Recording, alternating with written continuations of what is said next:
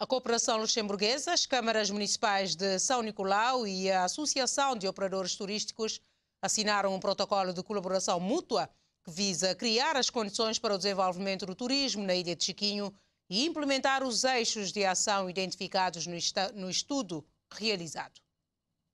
O estudo realizado de julho a setembro de 2018 pelo Programa Emprego e Empregabilidade da Cooperação Luxemburguesa identificou um modelo de intervenção a ser implementado através de dois eixos de ação para o desenvolvimento do turismo de natureza em São Nicolau. Segundo o representante da Cooperação Luxemburguesa, Juan Boucher, o acordo assinado entre as partes visa a implementação dos eixos de ação identificados no estudo.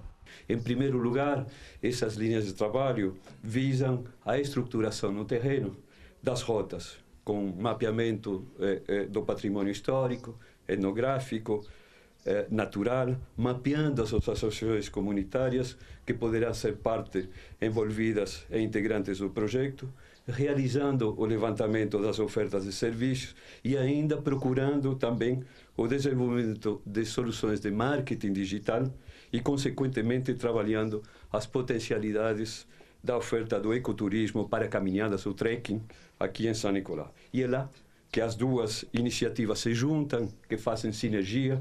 Por um lado, o Meeting eh, Trekking de São Nicolau e, por outro lado, o nosso projeto de turismo eh, de natureza.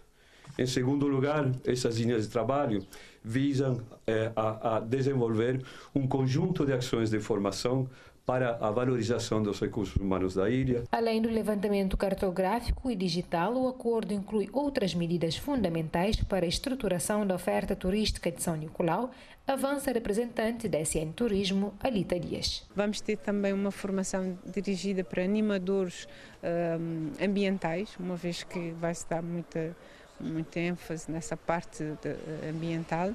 Haverá uh, também uma formação destinada às, às, associações comunitárias. O facto de nós ainda estarmos uh, bastante virgens ou incipientes na, na atividade do turismo dá-nos a possibilidade de poder desenvolver, portanto, fazer de forma diferente e melhor, evitar erros que já tenham sido cometidos noutras, noutras ilhas ou noutras partes em que um, o turismo já, estão, já está mais desenvolvido.